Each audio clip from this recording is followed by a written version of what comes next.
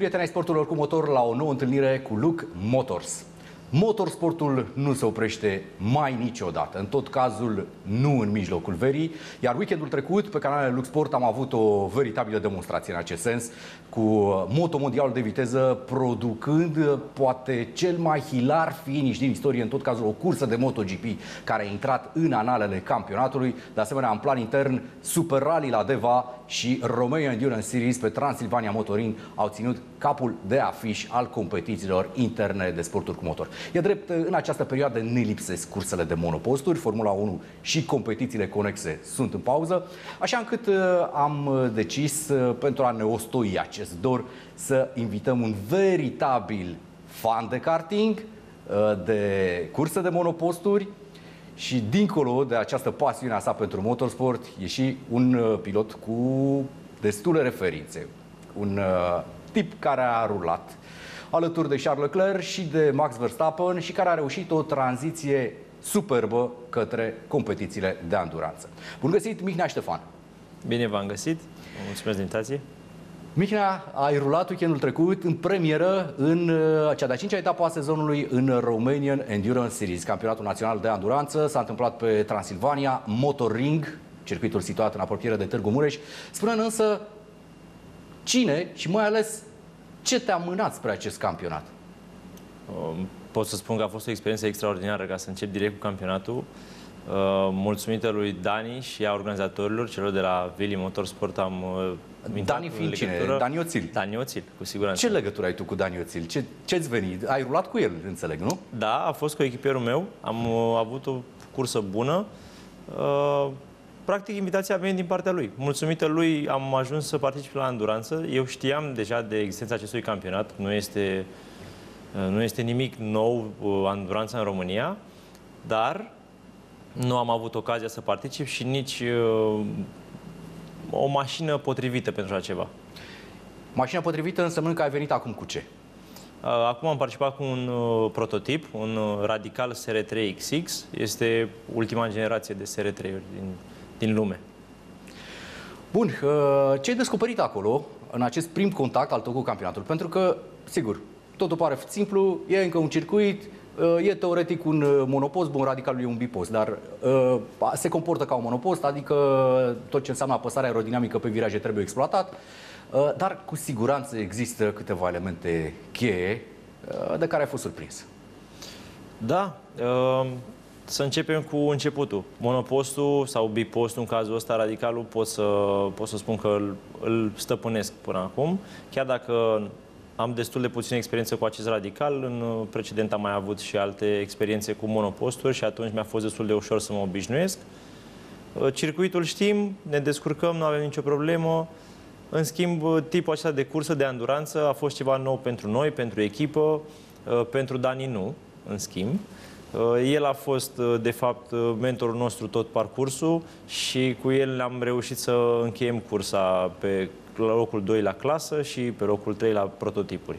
A fost peste sau sub așteptări această primă experiență a ta în România Endurance Series? Clar a fost peste așteptările mele. Ne așteptam să fie o, o cursă un pic mai ușoară, poate cu adversari un pic mai lenți, dar a fost o cursă pe măsură. Haideți să vedem uh, ce s-a întâmplat în această a cincea etapă a sezonului în uh, Romanian Endurance Series.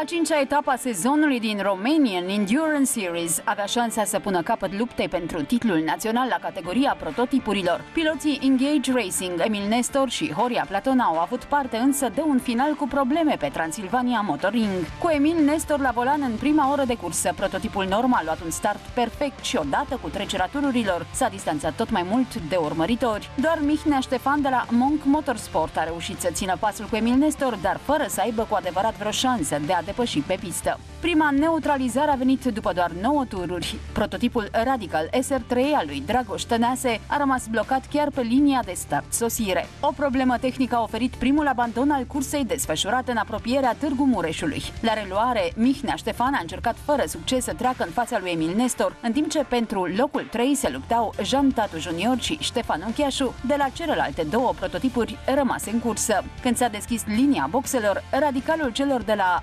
AVG Motorsport, aflat atunci pe locul 4, a intrat primul la standuri. Uncheașu a fost schimbat de Andrei Enescu, după care la standuri a intrat și liderul cursei Emil Nestor, care i-a lăsat locul lui Horia Platona. Monk Motorsport a preluat conducerea cursei pentru doar un tur însă, până când Mihnea Ștefan a intrat la boxe. A doua neutralizare a venit imediat la finalul turului 34. Loganul lui Dan Ștefan s-a oprit pe pistă, iar piloții au fost aranjați din nou în spatele safety car-ului. Astfel, cu mai puțin de o oră rămasă din cursă, Horia Platona conducea urmat îndeaproape de Andrei Enescu și Jean Tatu Senior, în timp ce ultimul prototip era cel al lui Dani Oțil. Lovitura de teatru a venit în turul 50. Motorul mașinii pilotate de liderul Horia Platona a cedat, iar un fum gros a început să iasă din spatele prototipului Norma. În premieră, în acest sezon, Engage Racing a abandonat după ce câștigase în primele patru etape. AVG Motorsport a profitat din plin, iar Andrei Enescu a trecut primul linia de sosire după cele două ore plus un tur de cursă. Pe locul 2 a încheiat Jean Tatu Senior pentru Tuning Team, în timp ce Porschele de la 360.ro au ocupat locul 3 în clasamentul general, datorită avansului mare la momentul retragerii din cursă față de celelalte mașini, Engage Racing a fost clasată la final pe locul 9. Camil Perian și Florin Tincescu s-au impus astfel și la categoria GT-urilor, în timp ce Toma Racing cu Mihai Tomescu și Cristian Mangri au câștigat la turisme. Înapoi în studioul Luc Motors, alături de Mihnea Ștefan, debutant în România Endurance Series, dar un debutant cu pedigree, o să vorbim imediat, care este background-ul tău, unul interesant, până la urmă e un câștig important pentru România Endurance Series să te aibă, iată, la startul unei etape. Întrebarea este, ți-a plăcut? Mai vii? Sau asta a fost o experiență unică? Bun, experiența a fost nouă pentru noi, dar asta nu înseamnă că luăm în considerare pentru anul viitor, poate să participăm tot campionatul. Bun, te-ai ținut foarte bine în cursă, la un moment dat ai venit aproape față de echipajul Norma, care de altfel până la această cursă câștigase toate etapele din acest sezon, la categoria prototip. Uh, Dani a acuzat ceva probleme pe, în partea sa de cursă, în segmentul său de cursă. Da, eu am forțat destul de mult, am crezut că avem o șansă să depășim Norma. Uh, din păcate nu am reușit să o depășesc instinctul meu și forțând atât de tare mașina am uh, supra-solicitat-o, am uh, supraîncălzit cauciucurile, frânele, nu a fost chiar cea mai bună decizia mea, iar Dani a trebuit să tragă, să recupereze sau să mențină mașina totuși pe, pe circuit până la final. Monk Motorsport, așa se numește echipa. De unde și până unde? Cine este călugăr? La voi în echipă sau ce legătură aveți cu latura aceasta monahală? Ideea de Monk Motorsport a pornit de la faptul că orice pilot, cât timp este în mașină, este atât de concentrat încât nu-l poate deranja nimic. Și atunci trebuie să fii calm, trebuie să fii plăcut, trebuie să ai un, un zen al tău. Corect spus. Uh, zenul acesta cred că tu l-ai deprins, l-ai cultivat uh, în uh, karting și poate în acel sezon din uh, uh, Formula BMW, din Cupa uh, talentelor BMW în care ai participat în 2012. Spune mai multe despre experiența aceea. Tu ai început în karting la o vârstă destul de fragedă, șapte ani dacă nu mă înșel. Șapte ani, da. Uh, după care uh, a, s-a evit această oportunitate a Formulei BMW. A fost uh, un sezon extraordinar nu pot să spun că nu sunt uh, acum mulțumit de el. Atunci am fost foarte dezamăgit la finele sezonului. A fost un singur punct diferență între mine și câștigătorul în ce a constat, În ce a constat acea, acel sezon 2012? V-a luat BMW și v-a dus pe circuite europene, a făcut o selecție între voi? Uh, sezonul 2012, practic, a început în 2011, unde am fost selectați noi ca și piloți. Au fost niște teste și psihice și fizice și pe circuit, să vedem cum ne acomodăm cu monopostul, dacă într-adevăr avem talent. Uh, apoi în 2012 am început cu pregătirea fizică, pregătirea psihică, am avut câteva ședințe de uh, media, să învățăm ce înseamnă să lucrăm cu camera, cu un reportaj. Tot ce este astăzi în bazele motorsportului am învățat de atunci. Exact cum spuneai, ai terminat la un singur punct uh, de un loc care te-ar fi dus în faza următoare, să faci un întreg sezon în Formula BMW Europe, nu? Asta era... Practic, uh, învingătorul Formula BMW Talent Cup din 2012 ar fi primit uh, zic un bonus, o sponsorizare destul de mare pentru următorul sezon în Formula Masters, în ADAC Masters în Germania. Încă mai bine. Mult mai bine. Clar. Bun, ai șot aproape, însă cu siguranță cu toții învățăm din eșecuri. Până la urmă, așa se întâmplă în viață. A, din păcate a trebuit să stau un an pe bară din cauza acestui eșec. A fost o lovitură destul de grea pentru mine, dar uh, acum am reușit să revin. Da, iată te reinventat uh, și nu doar în România Endurance Series. Am profitat de altfel de prezența ta, Mihnea, ceva mai devreme în studioul nostru pentru a te cunoaște mai bine.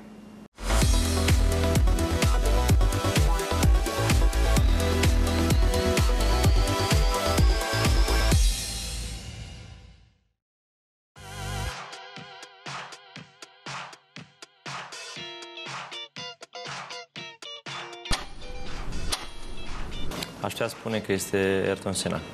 E clar de ce. Uh, a avut uh, niște rezultate fascinante. Este singurul care ducea materialul la maximum și, pe altă parte, era și un om foarte iubitor. Clar nu pot să-i dau numele. Știu, îl văd deja, mă uit la el în mintea mea, dar nu pot să-i dau numele. Mă bucur, în schimb, că m-a enervat, că asta m-a motivat, mă bucur acum, pentru că m-a motivat să merg mai tare. Uh, culoarea favorită, un uh, galben cu negru. Nu există o culoare favorită, există o combinație de culori. Da, mâncarea tradițională românească mi se pare extraordinară. Probabil că nu aș mânca gândaci. Nu sunt încă sigur, pentru că am înțeles că au gust bun, dar nu aș mânca gândaci. Nu gătesc foarte mult, în schimb fac o omletă extraordinară. Fiecare dimineață. Uh, pur și simplu două albușuri, un ou complet și probabil și un cașcaval. Ceva ușor. Ce ai? Text. De foarte multe ori wood, mai ales dacă ne referim la pistă. Place mai mult atunci când este wood. Ambele sunt iubitori de animale, dar uh, cățelul are întâietate. La munte răsărituri. A, sală de forță pentru că arăți mult mai bine, dar cardio pentru rezultate. Bicicletă. Probabil fiecare pistă internațională, dacă se pune. circuitul favorit, în momentul de față, Spa-Francorchamps oricare dintre piloții de Formula 1 mi se pare o, o idee extraordinară să iei la cine cu ei. Ai de multe de învățat. Sincer, nu cunosc nici măcar... Eu știu actorii după numele în filmul în care joacă, așa că mi-e greu să decid. Mm, grea întrebare. Sebastian Loeb se, se pune? Bun, atunci Sebastian Loeb aș vrea să fie cu meu. Grea decizie. Am avut destul de multe opțiuni, dar uh, mi-ar fi plăcut tot ceva în zona asta, dar în aviație. Tânăr, ambițios și încăpățânat. Singurul talent secret este că știu să conduc o mașină fără să am foarte multă experiență pe ea. E talentul de a mă apropia de circuit cât mai rapid. Matematica mi-a plăcut foarte mult, dar uh, pe parcursul liceului mi-a plăcut mai mult fizica. Chimia. Chimia din capul locului, chimia nu mi-a plăcut niciodată. Mama mea. Casc, cred. Asta este primul lucru la care mă gândesc. Casc și mă gândesc de ce m-am trezit la ora asta. Sprint deocamdată, dar uh, este și anduranță pe planul secundar ciocolată. Sau orice gen muzical. Nu, nu am o trupă favorită, în schimb îmi place să ascult ceva motivațional, adică ceva care să aibă și cuvinte. În ziua de astăzi cam încep să dispară melodiile alea. Niciodată să nu te gândești că o, o înfrângere poate să fie și capătul de linie. Tot timpul trebuie să privești înainte și să fii ambițios.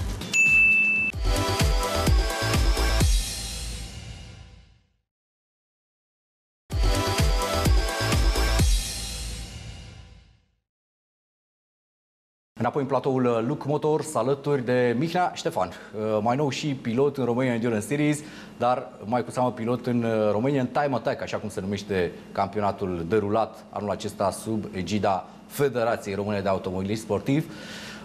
Ai, am vorbit despre prezența ta în Talent Cup-ul celor de la BMW, competiție de monoposturi. Uh, însă, din câte știu, uh, kartingul l-ai derulat și pe el la un nivel internațional. Ai disputat competiții de talie, precum Seria Mondială de Karting, cu etape în Italia, unde altundeva decât în patria kartingului, la Țarnu, în apropiere de Napoli.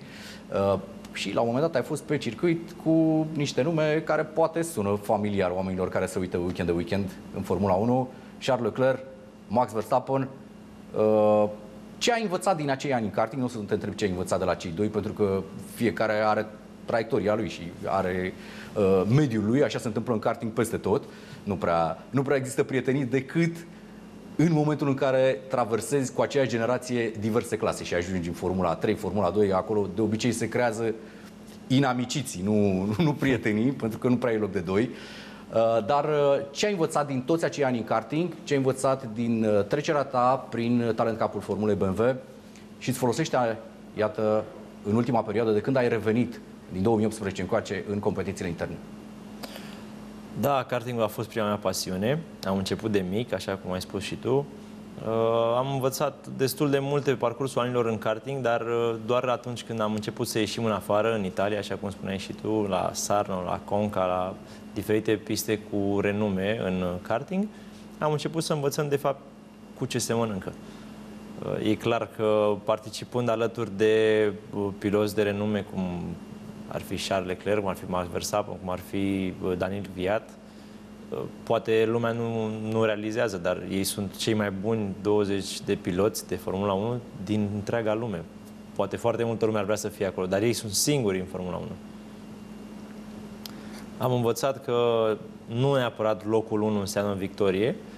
De foarte multe ori am avut uh, și probleme tehnice și uh, poate nu am fost eu la nivelul cel mai bun și a trebuit să învățăm pe parcurs. De foarte multe ori noi ajungeam în Italia la curse și încercam să dezvoltăm fix în zilele alea tot ce trebuia, toate setările, toate uh, trasele, tot.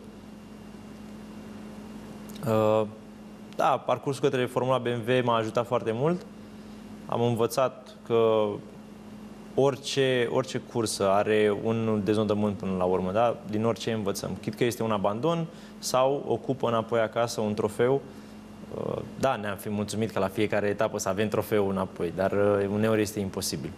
Da, și apoi înveți întotdeauna mai mult uh, din înfrângeri decât din victorii. Din victorii te bucuri și le trăiești în timp ce în înfrângere încep să ți învârt niște rotițe acolo da, în plan o, mental. O victorie poate să dureze o săptămână, o înfrângere poate să dureze o viață. Poți să te gândești la acea înfrângere o viață și să încerci să găsești să evoluezi de acolo. Uh, din fericire pentru mine încă nu a durat nimic, uh, nicio înfrângere nu a durat o viață, dar au fost câteva luni grele în care mă gândeam de ce s-a întâmplat și ce s-a întâmplat.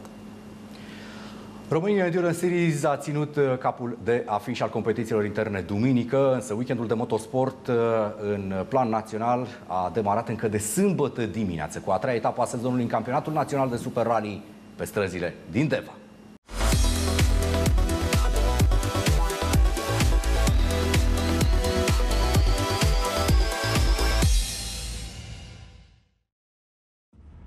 A treia etapă a sezonului din campionatul național de Super Rally a oferit dramatism din plin. Doi dintre favoriții la victorie, Jerome Franz și Mihai Leu, au ieșit în decor chiar în manșele finale. Până la urmă, un singur tur a fost suficient pilotului francez pentru a câștiga și a treia etapă din 2021. Nu a fost deloc ușor însă pentru cel care a pilotat un monopost din Formula Renault. În calificări, Jerome Franz a fost învins de către Dani Oțil. Pe un radical SR4, Oțil a fost mai rapid cu 70 de secundă. Emil Ghinea și Mihai Leu au fost imediat în spatele celor doi. Din cei 34 de piloți care au concurat în calificări pe străzile din Deva, 12 dintre ei au ajuns în marea finală, iar prima manșă din cele trei putea aduce o lovitură de teatru. Singurul pilot care a ieșit în decor a fost chiar Jérôme France. Acesta s-a urcat pe bordura care delimita traseul, iar prototipul său din Formula Renault a avut de suferit. Finala a fost oprită câteva minute pentru ca organizatorii să ridice mașina pilotului francez care a primit până la urmă vești bune de la mecanici. Avariile suferite nu au fost importante, astfel că Jérôme France a reușit să ia startul chiar în manșa secundă. Cei drept a mers mai mult la siguranță, iar Dani Oțil a fost mai rapid cu 3 secunde. Lupta finală avea să fie dată în manșa cu numărul 3. Ambii piloți au forțat și au mers la limită, iar câștig de cauză a avut Jérôme France.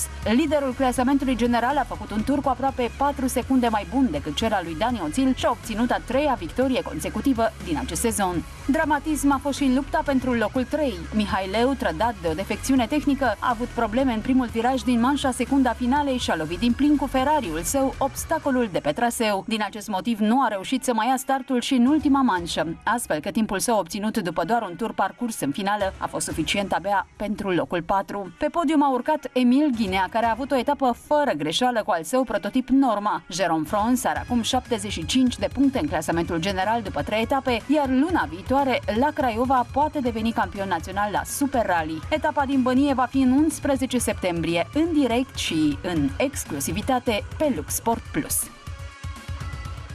Dincolo de granițe, campionatul mondial de raliuri a înregistrat anul acesta o nouă premieră.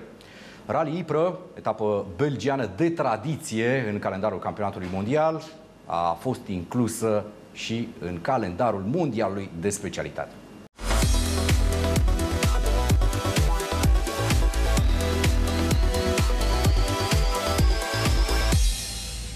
Ne întoarcem în platoul Luc Motor, alături de Mihnea Ștefan, uh, pilot de karting, monoposturi, anduranță și vom mai vedea încotro uh, te vor duce pașii de pilot, poate chiar în lumea raliurilor, de ce nu? Ce competiții urmărești, Mihnea? Uh, clar urmăresc Formula 1 și o serie de TCR, un pic din Formula E, dar nu am urmărit până acum raliuri, toate că mi se pare un sport extrem. Poate la fel de înalt ca și nivel ca și Formula 1. Să înțeleg că între competițiile de circuit și raliuri ești pentru moment, la vârsta asta, 24 de ani, dedicat competițiilor de circuit. De ce? Ce ți se pare mai atrăgător la circuit decât la raliuri astăzi? Um, este mediul în care eu am crescut. Practic, din momentul în care am pășit prima oară într-o, într-un kart sau în ceva de competiție, a fost pe circuit. Am început pe circuit, am continuat pe circuit, niciodată nu am fost atras de, de raliuri, toate că nu, nu există niciodată uh, așa o... Am greșit. Bun. Uh, aș vrea să încerc și raliuri, dar poate nu la vârsta asta.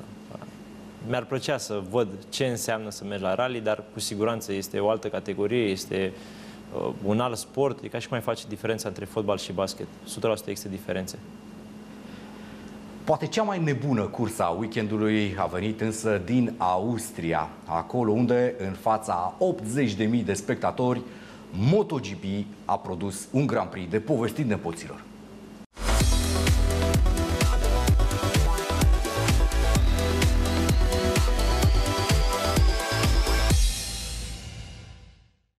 Dacă MotoGP a produs de toate weekendul trecut, și pe circuit și în afara lui, cursa clasei Moto2 a fost poate cea mai soporifică din acest sezon.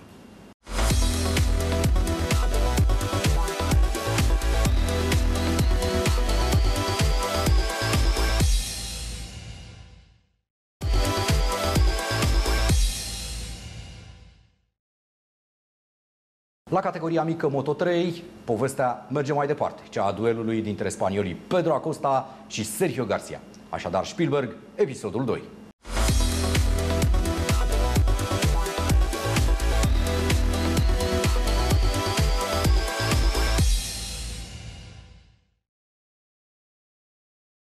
S-a încheiat și pauza de vară în Cupa Mondială de motociclete electrice. MotoE și-a consumat uh, antepenultima etapă a sezonului pe același circuit austriac de la Spielberg.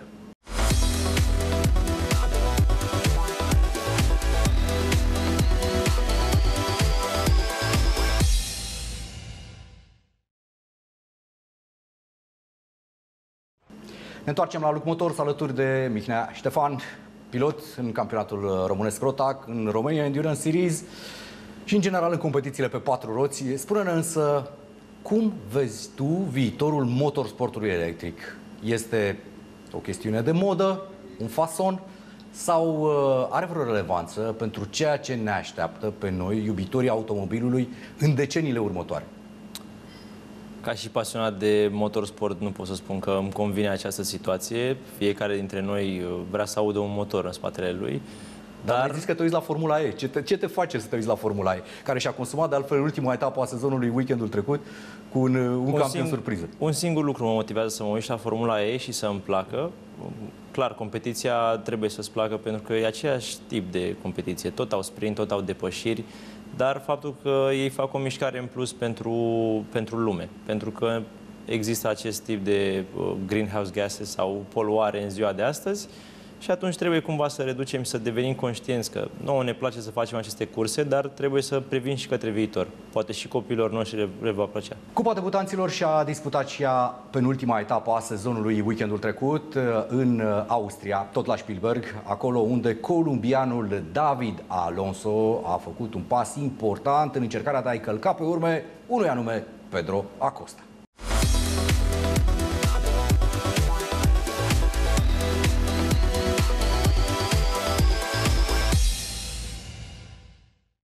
Pe noi românii însă ne interesa în mod direct cealaltă competiție a talentelor promovată de Dorna în uh, Olanda, la Assen. Cupa Nordică a Talentelor cu Mara Mureșanul Iacob Pohosciuc în prima linie a grei de start își disputa și ea penultima etapă a sezonului. Iacopo avea mare nevoie de un rezultat după patru curse terminate în afara punctelor, iar minunea s-a produs.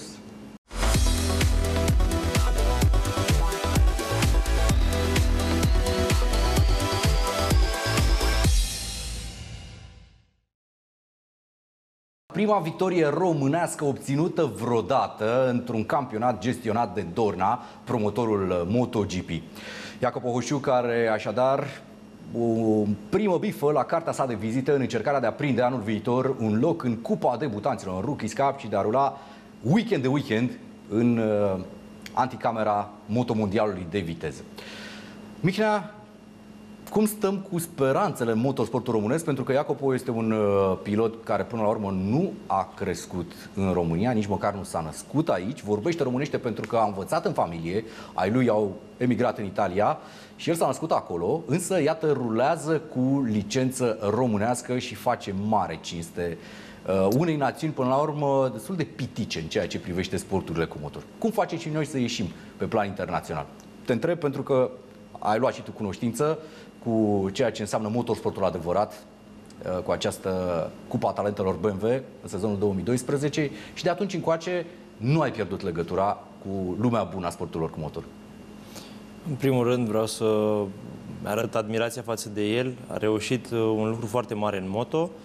Uh, sunt sigur că există și alți piloți de moto care și-ar fi dorit să iasă, dar bugetele nu, nu le permit probabil sau poate există altfel de detalii tehnice de care noi nu știm. Uh, tocmai asta se întâmplă și uh, la auto.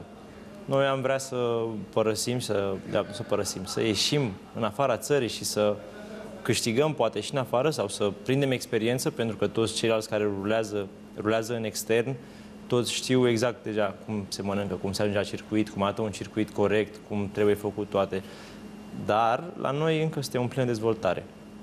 Există deja două circuite în România pe care putem să ne antrenăm, ceea ce este un plus față de acum 5 ani, când nu existau. Uh, există piloți care își doresc să facă performanță, nu numai în karting, ci și în auto și automat va veni și timpul la care să ieșim în afară și să avem rezultatele. Deocamdată încă suntem în plină dezvoltare. Bun, care ar fi, în momentul de față, cea mai facilă cale pentru a ieși afară și a putea să construiești o carieră pentru un tânăr pilot? Raliuri, pentru că sunt cele mai populare în România, motorsport de, de circuit, uite, spuneai, avem deja două circuite, uh, sau moto, uh, iarăși, care are avantajul de a fi poate un pic mai ieftin decât tot ce înseamnă competiția auto. Din experiența mea spune că putem începe la o vârstă fragedă și cu moto, dar și în karting. La rally deocamdată nu am văzut piloți de 5 sau 6 ani. Uh, dar pe măsura ce încercăm să ne dezvoltăm și să ne alegem această nișă, probabil raliurile sunt uh, preferate în România pentru că există mult mai multe destinații și mult mai multe uh, circuite deja amenajate. Să spunem că are un istoric mai dezvoltat în România decât circuitul. Suntem pe finalul emisiunii Mihnea. Scurt, ce program ai pentru finalul de an și mai ales ce ne așteaptă din partea ta în 2022? Încerc să pregătesc o surpriză pentru acest final de an, deocamdată nu pot să o dezvolui. Uh, cu siguranță trebuie să încheiem campionatul de Rotac 2021, campionatul de Romania Radical Cup în, în tot acest timp și am vrea să participăm în continuare la anduranță. Mai sunt două etape din anduranță, dar este posibil să prindem doar una dintre ele. Pentru surpriză rămânem în contact, așa încât uh, aici uh, pe Lux Sport 3 Motors vom fi primii atunci când Mihnea Ștefan se va hotărâ să facă pasul pe care îl gândește și vom afla la momentul potrivit. Atât pentru moment, prieteni, ne reîntâlnim ca de obicei marțea viitoare uh, de la aceeași oră 9 seara. De data aceasta vom pregăti revenirea în actualitatea Formulei 1 pentru că, iată, pauza de vară va lua sfârșit și acolo în competiția numărul 1 a planetei. Motomondialul de viteză revine și el după un an de pauză la Silverstone în Marea Britanie și apoi, evident, în plan intern. Să nu uităm, se încheie și pauza în ceea ce privește campionatul național de viteză în coastă. Urmează etapa de la Baia Mare, pe care o vom prefața, de asemenea, cu doi invitați speciali. Până atunci, rămâneți cu bine!